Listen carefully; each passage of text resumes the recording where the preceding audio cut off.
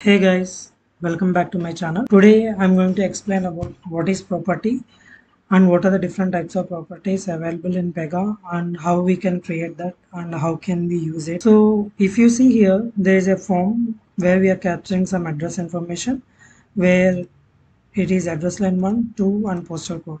So address line 1 might be some characters but postal code should uh, accept some integers now if you want to create one field after uh, shopping you want to display some billing amount.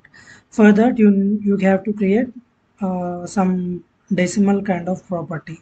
So how to do that? If you go here application if you right click create data model you can see property. And i'm giving as billing amount. It is good practice to give some space over here but not an identifier now I have selected app context, class, rule set, clicked on create and open. Just before saving it, I can see here, I can change the property type. If you click, you can see date, date time, decimal, double, identifier, password, true or false. It's true or false is nothing but uh, boolean. And if you see here, there is something called as single page, page group page list, and value group value list java property list on that. So in our scenario i am selecting our billing amount as decimal and see our ui control change to px number. If you select again here and go for some text or ui control suppose if it is a decimal we might enter only digits and a separated value like dot but we should not be allowing user to enter some text over there. So i'm giving some decimal on here. Go advanced. We did not create any validations or anything else. Now i'm going to history. And in pega whichever rule you create it's good to maintain description and usage as a good practice. Now if i want to relate this billing amount I'm going to a section billing amount I'm saying it. Now we have created a property but before getting into that I want to explain few concepts. See this is a property and we have two kinds of properties like value mode, page mode. In value mode we can have single value, value list, value group and page mode property means page single page, page list, page group. Okay now single value. Single value is nothing but it can be like an integer, uh, decimal, text where we will be saving some values okay? Now we are having a scenario where a person can have multiple phone numbers okay? Now how we will hold that? For that Pega has given a concept called value list. In value list, you can create phone numbers like mobile of 1, mobile of 2 and here you can have only single value okay? Now you don't have any differentiation like which is home phone number or which is office phone number Further, Pega has come up with a property type called as value group where you will be giving mobile of home, mobile of office. So what is this one, two? What is this home office? This one, two or this home office, these are called as index or subscript. Simple. In Java, we would be using arrays where we are having multiple values. Like uh, array is will be starting values from 0 1 2 3 so here we are having a particular property like this and we are giving one index value to it. So these comes under value mode. So now how to create a page? As i have said earlier like text decimal integer all those are called as single value properties. Now we need to hold all these values on a single context. Then pega has given a concept like single page. Okay so for a, for our scenario if we want a single place where uh, all these values should be stored then we will be creating single page. Now how to create that? For example we have all our properties here. Now we want to refer all these values in our register class. So how can we do that? Normally in our register class as this is a child class and this is our parent class in rule resolution algorithm we are able to find these rules.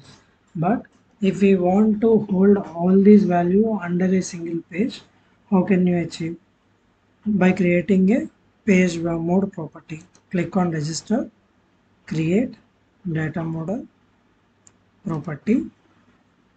Now i'm giving us address info. Click change single page. I have to define this page. This page can contain all the values of zmod zmod work. For example now i can give all these values here. Click save. Now this page is defined to this class under this class.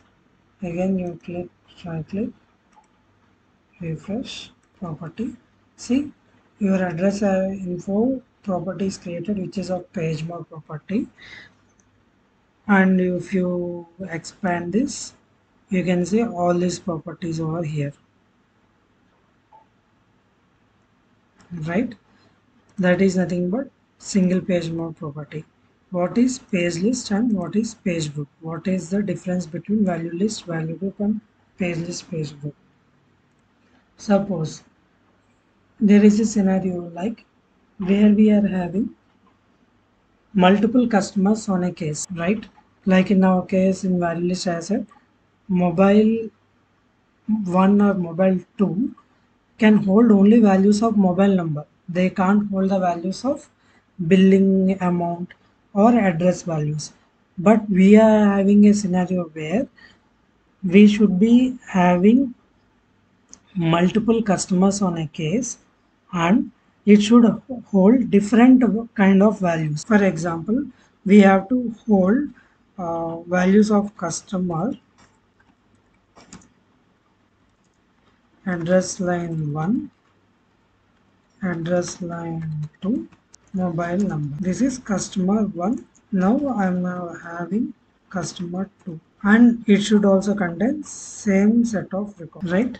And i can't go and create this value list because this value list can contain only mobile numbers but not the other values because uh, i have defined this value list as only mobile numbers. You can define value list that contains only address line 1 or you can define a value list that contains only address line 2 but now in our scenario i have customer 1 and customer 2 i have to create a property type called as page list. And now all the list kind of values will be having a subscript or index. Few people will be calling subscript few people will be calling index. But the purpose is same. It's just to refer which value over there. So as i've said here value list mobile of 1 is the subscript. Value list mobile 2 is another subscript. Okay? Now customer 1 customer 2 and this customer 1 should contain all these values and customer 2 should contain again all these values. Properties you would be creating only one. That is customer property of mode page list and we will be using that. If we are having n number of customers we won't be creating n number of properties right? Because in pega it is a low code platform and we have to look on reusability now how to create this page list property? Go here. Register. Create. Data model. Property. Customer. Create and open. Now click here change. Page list. Again i'm giving this class name. Refresh. Data model. Property and see this customer is having all these values and this customer is a page list uh, property. Now this customer can have multiple records. And what is page group? As i have said like value list page list these uh, value group and page group also look similar. So value group can contain values of only uh, one data type but subscript would be different. Suppose we are having a scenario like we will be having uh, customers who is having some premium membership gold membership. If we use this like customer 1 customer and customer 3 you can't identify which is gold customer platinum customer or premium customer. For that purpose Pega has come up with page group. Page group subscript only difference. Gold premium in the same lines how we have created page list we can create this page group and we can define to the same class right